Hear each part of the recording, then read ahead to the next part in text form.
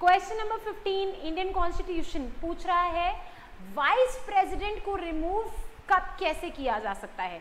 तो कौन है जो वाइस प्रेसिडेंट को रिमूव कर सकता है? सो so, ऑप्शंस हमारे पास बहुत सारे हैं। देखिए आंसर है हमारे पास resolution of the council of state agreed by the house of the people मतलब कि काउंसिल ऑफ़ स्टेट रेजोल्यूशन इसका पास करता है राज्यसभा रेजोल्यूशन पास करता है मगर लोकसभा अग्री करना चाहिए, ठीक है?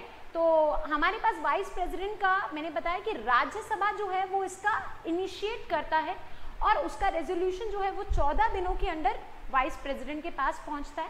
हाँ हालाँकि देखिए, दोबारा लिखा है, though pass by the Rajya Sabha but must be agreeable by the Lok Sabha house of people there is no need of impeachment of president for removal so अभी करंटली हमारे पास जो वाइस प्रेसिडेंट हैं, वो हैं श्री वेंकैया नायडू जी और these are the details vice president of house हैं और फाइव ईयर का टेन्योर होता है और सैलरी जो नई सैलरी अपडेट हुई है under the budget the new union budget that is four lakh rupees per month is is salary and this is the entire thing and question जो हमसे पूछा गया था कि कौन इसको रिमूव किया जा सकता है तो आंसर इज़ कि रेजोल्यूशन जो है वो राज्यसभा पास करेगा, मगर must be agreeable by the Lok Sabha. I hope you can understand council of state is Rajya Sabha and house of people is Lok Sabha.